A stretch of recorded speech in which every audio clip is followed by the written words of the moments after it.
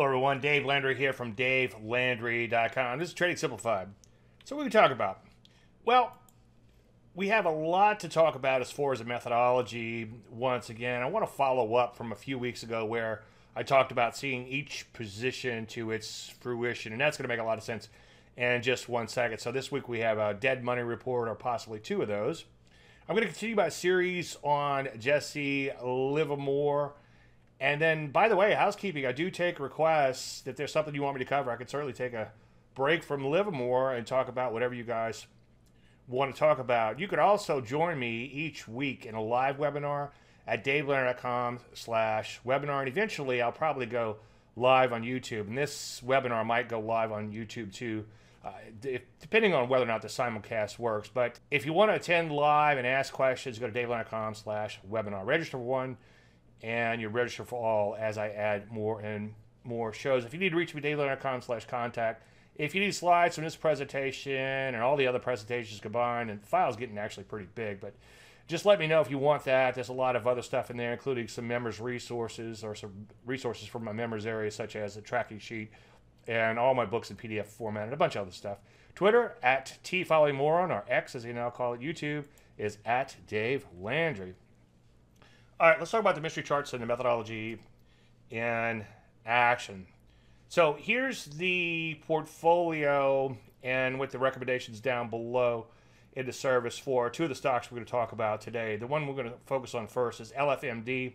It was a buy, 1,600 shares, 425 was the entry. Three was a protective stop, and the initial profit target was 550 IPT, initial profit target, for a risk of 125. So just real quick, because this is probably a lesson in of itself. The entry is above the recent highs. You give it a little wiggle room just in case it rallies up and comes back in. As I've said a thousand times, a lot of times I'll recommend the stock. People complain about it six months later, and I have no idea why they're complaining. And when I go back and look, I see that it never did trigger, but a lot of people will front run those setups and get in early. You can front run if you're in a rip roaring bull market, but we're not in that right now. Anyway, entry was 425, and stop was three points, which is, I'm sorry, yeah, three points for a risk of 125, entry minus the stop. So what happens in a case like this? This seems pretty wide on a percentage basis, but based on the volatility of the stock, as you'll see in one second, it really wasn't that far away. And then the IPT, you simply add the risk to the entry and it gives you the IPT. I'll give you a blank tracking sheet if you go to the aforementioned stock charts link. So you can track your own trades, especially if you're with my methodology. By the way, the number of shares is based on, you can't see it, it's up here, but I have the account size at 100K, and I just keep it at 100K to make it easy.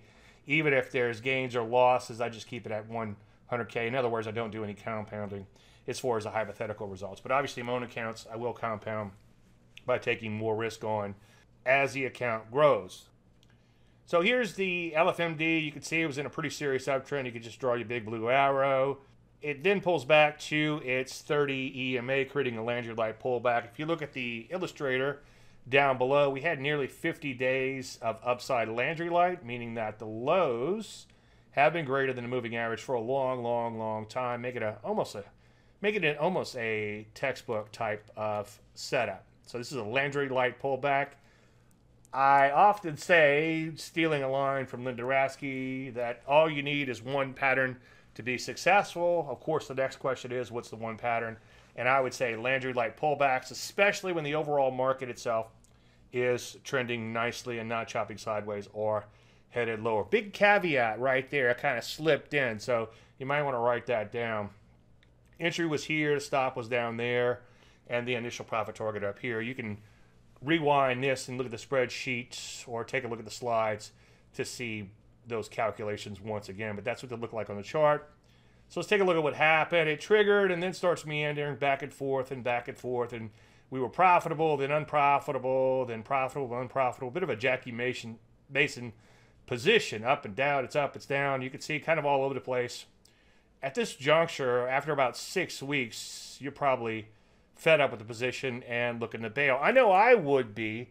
And if I didn't put out a trading service every day with a game plan, then I probably would have given up a long time ago. But I'm like, no, dang it, I've got to keep this losing position, and I had some foul words almost just said, in my portfolio because that's what I said to do. So at this point, again, you're probably wondering, is it dead money? Dead money is money that has little or no chance of ever appreciating, but you don't know if it's going to be dead money or not. The market might just be consolidating a little bit before it takes off. In this case, fortunately, it did eventually take off, but not without coming back in and us going underwater for a little while. So we did take partial profits on this one earlier today, knock on wood, in spite of a market getting, I wouldn't say annihilated, but getting hit really hard. Today is September 26, 2023, FYI. It's nice to have a position headed in your favor. Believe me, this doesn't always happen on bad days, but it sure is nice when one of these guys can defy gravity like this. Now, one thing that I wanted to point out is following your plan is the way to go. Shorter term, you'll probably find that you can make more money or save more money or avoid losing more money by bailing on your plan. But longer term, if you quit when things turn sour and you haven't gotten stopped out, in other words, you're busting your plan and you quit here, you're never going to get here. And I hate to use the word hopefully and hopefully beyond. Now, it doesn't happen that often. I don't want to make it sound like it does.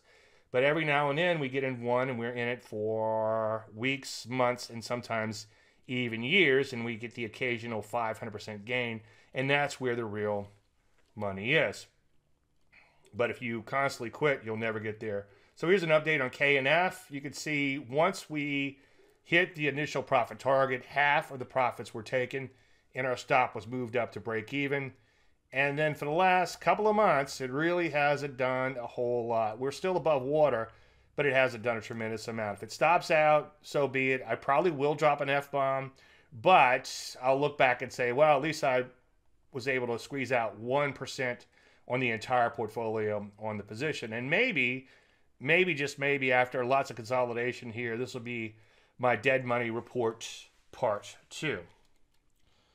Let's take a look at the only other remaining stock in the portfolio. You can see down below, this is Bowtie Proper Order.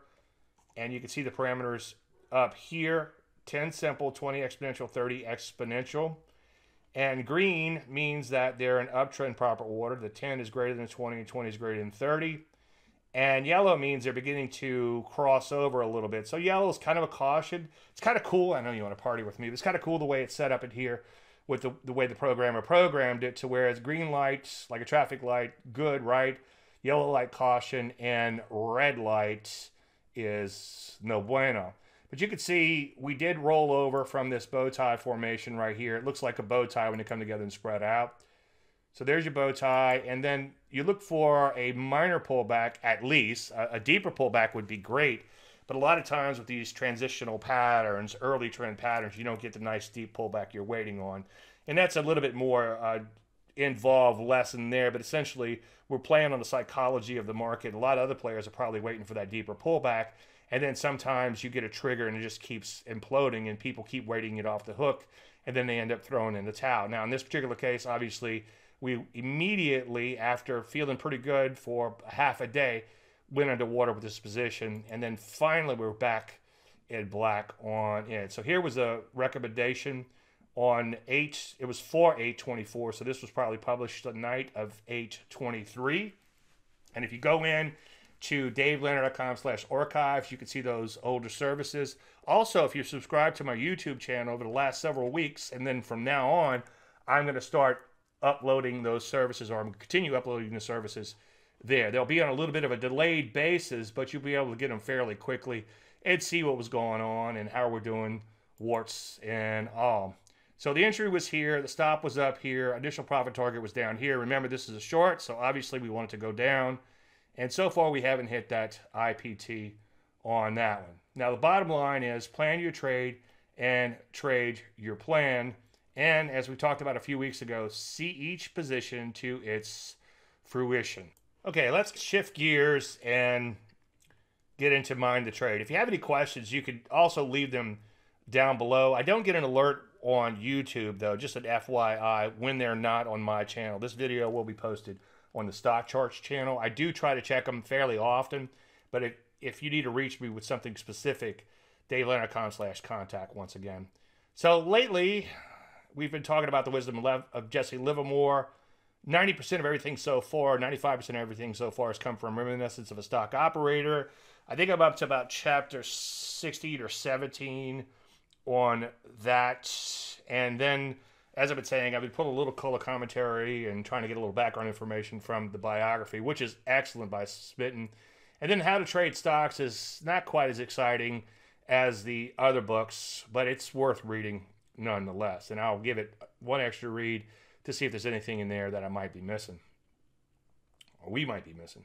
So when we last left off, he couldn't attempt to rise from the ashes until he freed himself of his encumbrances. So he owed a million and a half dollars and was having a hard time operating knowing that he owed people. And that's one thing I often talk about is extraneous influences. When you need money, it's really hard to trade properly because you can do one or two things.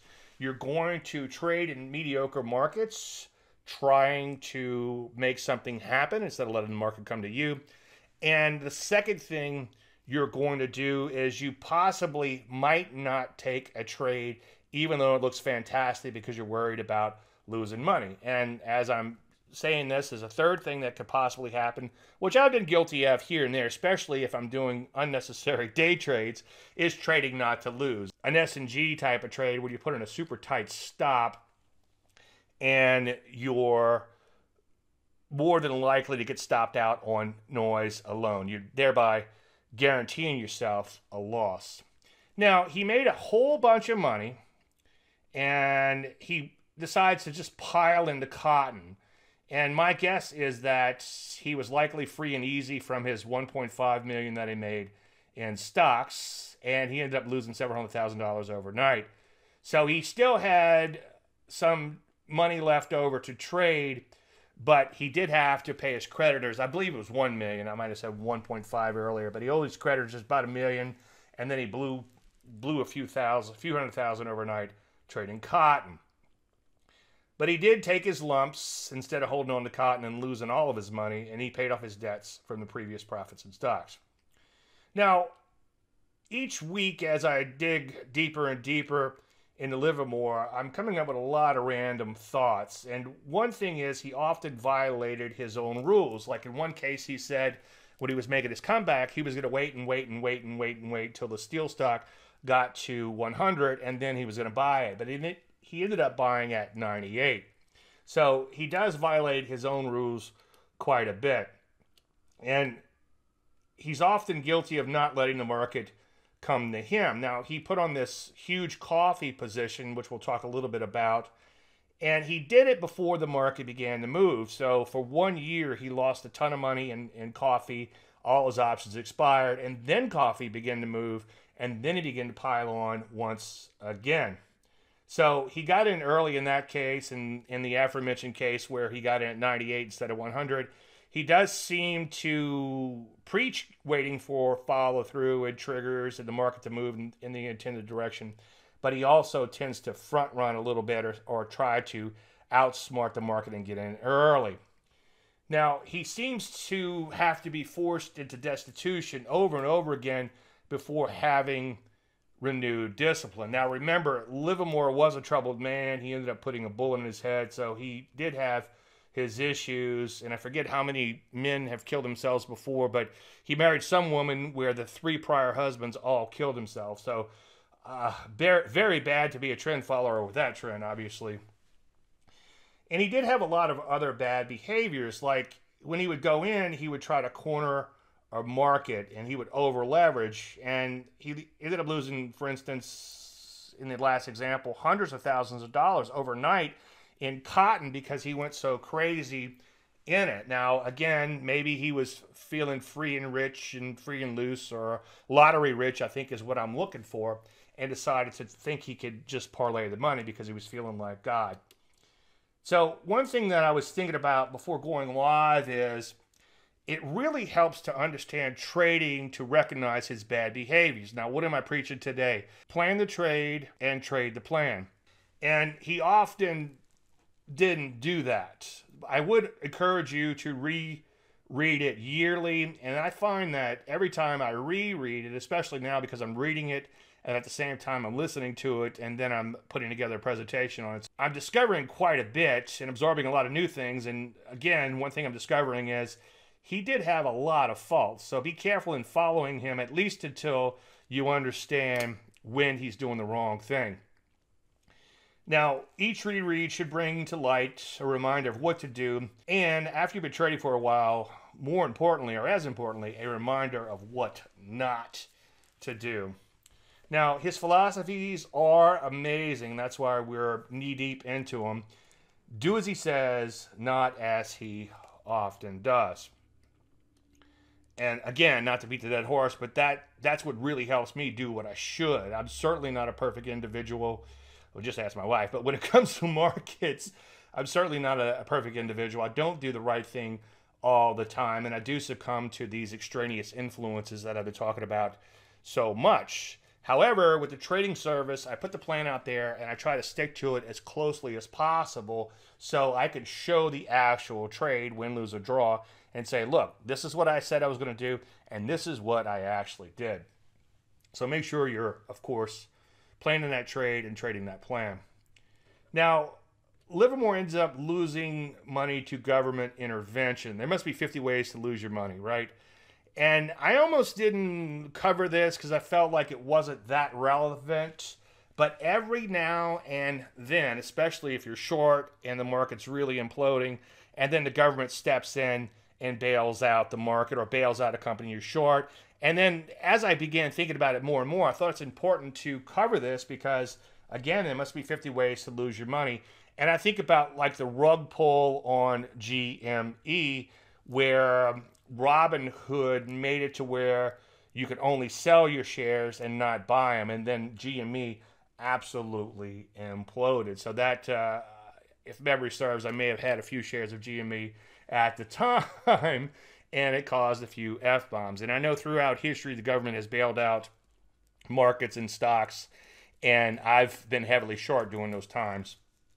So he did lose a lot of money due to government intervention, and as I said earlier, this this actually happened after more bad behavior. So this is when he bought a whole bunch of coffee because he had a bunch of good reasons to buy it, but the tape wasn't there, and so he ended up losing money for a year, and then he really got screwed when the government intervened. What happened? The unexpectable what had never happened in anybody's experience, what I therefore had no reason to guard against, I added a new one to the long list of hazards of speculation that I must always keep before me.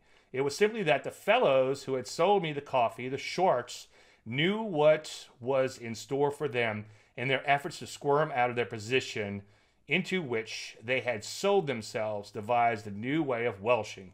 They rushed to Washington for help and they got it. So the people who sold Livermore coffee went to Washington and said that Livermore is going to destroy the coffee markets. And so the government decided to bail out the coffee market. When I lose money by reason of some development which nobody could foresee, I think no more vindictive of it than I do of an inconveniently timed storm. Life itself from the cradle to the grave is a gamble, and what happens to me because I do not possess the gift of second sight, I can bear undisturbed. So basically, he's saying it happens with a silent sh, and you just have to get over it. And again, from a philosophical standpoint, a lot of what he says makes a lot of sense. He didn't always follow his philosophies, though. I have in mind certain hazards of speculation that from time to time remind me a man that no profit should be counted safe until it is deposited into your bank account. Amen. One thing that I preach quite often is avoid mentally monetizing trades. Looking at how much you're up and thinking about what you could do with that money, especially when you have to let that stock potentially draw down a little bit down to your protective stop. So what I often tell people, and I do the same thing, or try to do the same thing at least, I try to mentally monetize down to the stop. So let's for instance, take a look at that LFMD. So the first loaf, I made 1% on that. If I scratch out, same thing with KNF, then I make 0%, but overall, I made a little money. Now, if it continues to run, then I'm going to continue to bump that stop higher. And wherever that stop is, that's how much money I'm going to make, barring overnight gaps, of course, when, not if, I'm stopped out. You never count your money while you're sitting at the table. Kenny Rogers.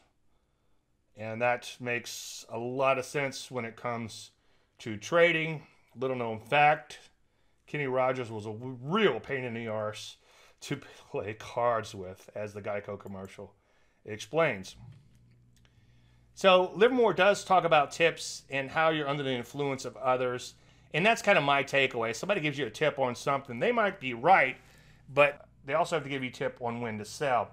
And very early in my career, I got some tips here or there, and, and you find out that sometimes people can actually be disingenuous. I probably trust too many people. Not anymore, though, but maybe back in the day. I will tell you my secret if you wish. It is this I never buy at the bottom, and I always sell too soon. Well, he claims he never buys at the bottom, but in some cases, like the coffee trade that he sat in for a year, he did. But yes, that is one of the secrets of trend following. And as far as selling too soon, I think it's okay, and I think you should scale out like I showed earlier with the core portfolio, and then ride those stocks as long as they continue to move in your favor. In other words, as long as you're not stopped out. Now, he began to talk about investors. Investors are a different breed of cats. Most of them go in strong for inventories and statistics of earnings and all sorts of mathematical data as though they meant facts and certainties. They don't. The human factor is minimalized as a rule. One thing that I've been working on quite a bit on and off for the past year or so is apologetics for technical analysis, not religion, but technical analysis, in explaining why you should use technical analysis and performance based metrics type of technical analysis, such as the zone charts for the TFM system to help you know when the market could be in trouble, and it is in a little bit of trouble right now. But that's the type of thing that I like to, to use with technical analysis. And the thing about technical analysis is people might think in fundamentals, but their actions are emotional. And then there's actually, we can kind of go off on a tangent on this. Their actions are emotional because every decision you make is emotional. So no matter how you arrive to that decision, your actual decision to place the trade, when you actually place a trade, is an emotional decision. Now, that's not where I'm going with this. My point is that people buy and sell stocks for a variety of reasons, as Tom McClellan's mother, Marian, once pointed out. Some people buy when they have money, sell when they need money, and others use more sophisticated methods. And she went on to say that everybody uses timing in their investments. Now, right now we're in bow tie proper order down for the S&P 500, and you can see we've been in a bit of a spill as of late. So, why are people selling? Well, they might have some legitimate reasons. It might be fundamentals, but it could be past, present, and future reasons for selling some of the things that happens in the past. For instance, the market was doing well for a while and now it's beginning to lose money. One of my friends visited a few weeks back and his wife opened up the 401k on the way over and that's when the market was blowing and going in the middle of summer, looking pretty good. And they were pretty upset about where they were and he was pissed that she opened the letter on the way over to ruin our nice dinner. But anyway, you kind of get the idea. So now that the market's getting slide a little bit, especially after opening up his 401k, he's beginning to rethink things. And I also did tell him, not that I want to be a, a told you so, believe me, not with my friends for sure. But I did explain to him when the market was beginning to crack a while back that it, he might want to think about getting out of the way. And he said, Well, what's the worst can happen? I said, Well, the market loses half its value and it takes 25 years to come back. And he's in his 50s like me, so I'm not sure he has that 25 years. So anyway, people can sell for a lot of reasons. You know, inflation, it's amazing how expensive everything is now. I used to never look at prices in the store. In fact, sometimes my wife would send me because she couldn't bear to look at the prices. It's just her psychological makeup. But lately, I have to admit, I'm looking at the prices and in some cases have bought a few generic brands here and there, something I never would do, and think twice on how hungry I am for a steak and whether or not I earned it by following my plan during the week and so on and so forth. So these are things that have never come into my head in my entire life up until now. Anyway, you might have some personal needs because there's less money to go around, and you might not want to see your money evaporate yet again, like my aforementioned friend. So people buy and sell for a variety of reasons, and I think that's where he was going with that. Now he goes on to talk a little bit about intuition, and as I preach almost every week, you've got to be super careful with intuition. And as Ed Seykota says, sometimes people see it as intuition. And if I could get into a state of flow, especially if I'm doing something a little bit more hyperactive, something I probably shouldn't be doing, like intraday trading. But if I could wait and wait and wait to get into a state of flow, there, there are times where I'm completely in tune with the market. Other times I try to force that to happen. Now, if I could figure out when I'm in tune and be in tune and not try to force it, you might not see my fat buttocks again. But anyway, I think that's where he's going with this. The training of a stock trader is like medical education. The physician has to spend long years learning anatomy, physiology, materia medica, and collateral subjects by the dozen. He learns the theory and then proceeds to devote his life to the practice. He observes and classifies all sort of pathological phenomenon. He learns to diagnose. If his diagnosis is correct, and that depends upon the accuracy of his observation, he ought to do pretty well in his prognosis. Always keeping in mind, of course, that human fallibility and the utterly foreseen will keep him from scoring 100% bullseye. So basically, he's saying you need a ton of experience as a trader to get to the uh, level of proficiency. And then as he gains experience, he learns not only to do the right thing, but to do it instantly so that many people will think he does it instinctively. And that's one thing that's kind of a beautiful thing. It doesn't happen that often, but every now and then I have a bit of an out of body experience where I'm taking profits where I should be taking profits, or I'm entering trades, or I'm trailing that stop, or in some cases just bailing out on something that's not working because it had, it had touched that stop. And sometimes I'll do these things automatically. And what's amazing is after it's all done, I'll be like, what the hell did I do? And then it works out, not all the time, but it'll work out swimmingly when these things happen. So that's kind of like an instinctive place you want to be. And it's um, I'm going to butcher his name, but Mihaly Csikszentmihalyi. Uh, he talks a lot about flow. He's got a book written on flow, and I think that this is sort of where Livermore is going to the here is getting into that state of flow, and that's something that I've worked really hard to figure out. And I hadn't quite figured it out yet, but if there's a way to bottle it up, I think you could own the world if you figured out how you're in the state of flow and how to get into that state of flow. And I get into a state of flow a lot of times hobby wise. I'll be something stupid as cutting wood or sanding or some of my other hobbies, whatever the case may be. I kind of lose track of time, or sometimes time slows or speeds up, or whatever the case may be.